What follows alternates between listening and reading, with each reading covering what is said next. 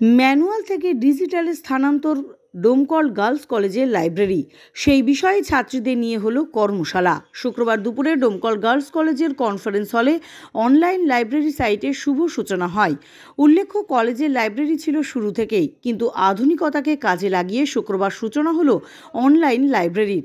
পাশাপাশি প্রশিক্ষণ দেওয়া হয় ছাত্রীদের। এবং অনলাইন থেকে কীভাবে বই বুক করবে তার পদ্ধতিও শেখানো হয়।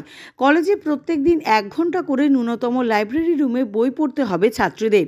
তারপর সেখান থেকে কার্ড সংগ্রহ করে কলেজ থেকে বের হতে পারবে ছাত্রীরা।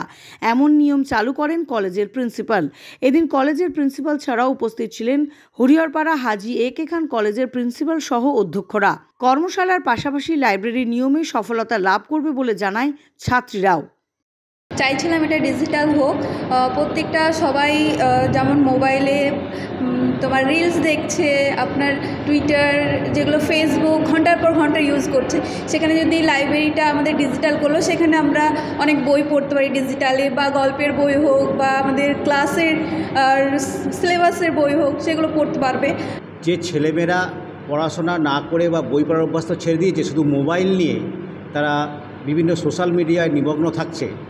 সেইটাকেই কাজে লাগিয়ে যদি ডিজিটাল পদ্ধতির মধ্যে দিয়ে লাইব্রেরিটাকে তাদের মধ্যে ঢুকিয়ে দেওয়া যায় বা লাইব্রেরিটা যদি তাদের কাছে পৌঁছে দেওয়া যায়, সেই জন্যে এই ডোমকল গার্লস কলেজের প্রিন্সিপাল ডক্টর অলোক কুমার বিশ্বাস এবং আমি principal Haji Khan college doctor Goutam Kumar Ghosh, এরা বিভিন্ন আলাপ আলোচনার মধ্য দিয়ে যে এই যে সোশ্যাল মিডিয়ার মধ্য দিয়েই আরেকটি পদ্ধতি যে ডিজিটালাইজেশন করে দেওয়া গ্রামগঞ্জের ছেলেমেয়েদের কাছে তাই ডিজিটাল পদ্ধতির মধ্যে কোহার মধ্যে যে ওপ্যাক সফটওয়্যার, তার মধ্যে লাইব্রেরিকে ডিজিটালাইজড করে ছেলে মেয়েদের কাছে পৌঁছে সেই শিক্ষালাভের পদ্ধতি উন্নতি সাধন করা যায়।